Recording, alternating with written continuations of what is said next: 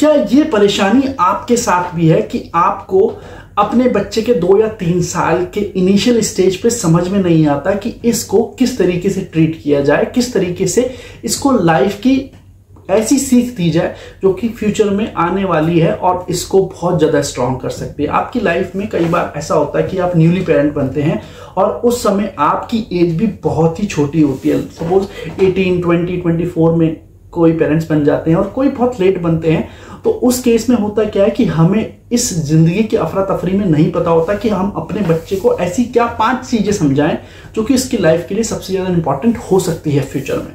सो so, आज ये video इसी के ऊपर है और आपको बहुत ध्यान से समझना है क्योंकि आज संडे के दिन आपने सिर्फ़ और सिर्फ़ 10 मिनट इस वीडियो को दे दिया तो आपकी लाइफ का बहुत बड़ा प्रॉब्लम सोल्व हो जाएगा और आपको स्टेप बाय स्टेप समझ में भी आ जाएगा कि मुझे कौन सी एज में क्या चीज़ करवानी है और किस तरीके से उसको मोल्ड करना है।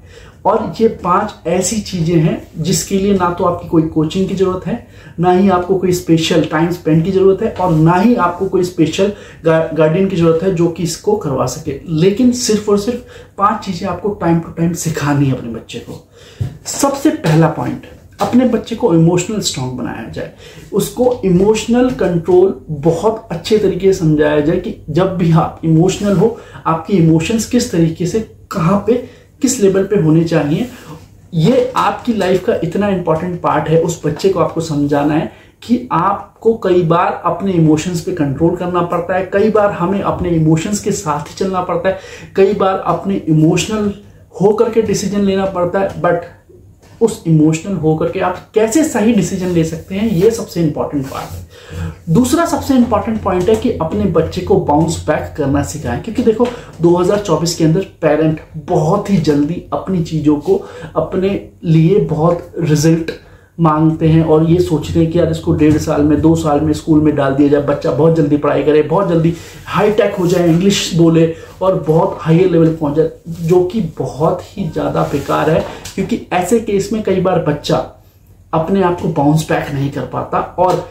एक माइंड में ना डर बना रहता है, जो कि फ्यूचर में हो सकता है, उसका डिप्रेशन का शिकार बन सकता है। तो आप उसको बाउंस बैक करना सिखाएँ। अगर वो हारता है तो उसको ये समझाएँ कि आप हारे हैं, इससे मैटर नहीं करता। आपका रिज़ल्ट क्या है? इट डजेंट मैटर आपने काम किस तरीके से किया है? ये सबसे इंपॉर्टेंट पार्ट है। और ये चीज़ आपने अगर सिखा दी अपने बच्चे को तो वो बहुत जल्दी अपने आप को एक स्टेब्लिश्ड बॉय मैन या फिर एक अच्छा इंसान बनता हुआ देखेगा। तीसरा मोस्ट इंपॉर्टेंट पॉइंट है कि टाइम टू टाइम अपने रिलेटिव्स के साथ ये एक नया पॉइंट मेरी तरफ़ से ऐड है कि अपने रिलेटिव्स के साथ किस तरीके से आप टैकल करवा सकते हैं बच्चे को। कई बार क्या होता है कि आपके सो कॉल्ड रिलेटिव्स आपको हमेशा, आपके बच्चे को हमेशा नेगेटिवली कोई भी चीज़ नेगेटिव प्रोग्रेस करते हैं, जिससे कि आपके बच्चे के माइंड में कहीं ना कहीं घृणा की भावना जग जाती है। एक प्रकार से या उनमें शौफ आ जाता है, या फिर उनके अंदर एक जलन आ जाती है और उसको गलत राह दिखाते हुए उसको इस तरीके से बताया जाता है जो आप नहीं समझ पाते। एकदम से आपको ये ऑब्ज़र्व करना होगा किस तरीके से आपका बच्चा बहुत ज़्यादा चिड़चिड़ा हो रहा है और बहुत ज़्यादा परेशानी आपको दे रहा है। तो ये आपको यही देखना है कि किस तरीके से आप अपने बच्चे को सो कॉल्ड रिश्तेदारों से डील करना सिखाएँगे। क्योंकि देखो, आज की डेट में आपको अपने बच्चे को यही चीज़ सिखानी है कि आप इन लोगों से डील कैसे करें, क्योंकि आपका कोई भी अपना नहीं है, लेकिन आपको सिर्फ़ ये चीज़ सिखाना है कि सबके साथ मिलकर रहना है, लेकिन दिमाग के साथ। Fourth point time to time अपनी फ्रेंडशिप अपनी रिलेशनशिप आउटसाइड द होम किस तरीके से बिल्ड करनी है, किस तरीके से डील करना है, बच्चे को हमेशा काम एंड कूल बनाए, ज़्यादा एग्रेशन के साथ, उनके साथ पेश मत आए, क्योंकि कई बार मेरे साथ भी ऐसा होता है कि मैं भी बहुत ज़्यादा एग्रेसिव होता हूँ अपने बच्चे के साथ, जो कि फिर बाद में मुझे फील होता है कि ये सही way of way of behaviour नहीं है, जो कि उसके लिए फ्यूचर में बहुत ज़्यादा खराब हो सकता है। तो हमेशा पोलाइटली बहुत आराम से चीज़ों को समझाए,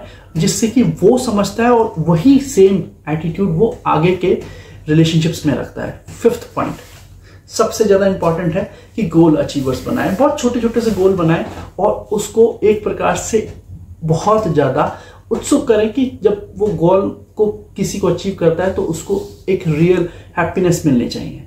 गोल, ये नहीं है कि बहुत बड़ा गोल बना लिया। उस गोल को किस तरीके से डिवाइड करना है? सपोज़ आपने, आप तीन साल का बच्चा है और आप उसके साथ में बैठे हैं एक रोटी खिलाने के लिए। तो जब वो एक बाइट खाता तो उसको और ज़्यादा अप्रिशिएट करो। वेरी गुड आपने एक बाइट कंप्लीट कर ली। जब वो हाफ़ चपाती अपनी कंप्लीट करता है तो उसको अप्रिशिएट कीजिए। जब वो पूरा एक चपाती खाता है तो उसको अप्रिशिएट कीजिए। इस तरीके से उसके छोटे छोटे गोल्स में उसको डिवाइड कीजिए। और ये बहुत ज़्यादा उसके लिए अच्छा हो सकता है।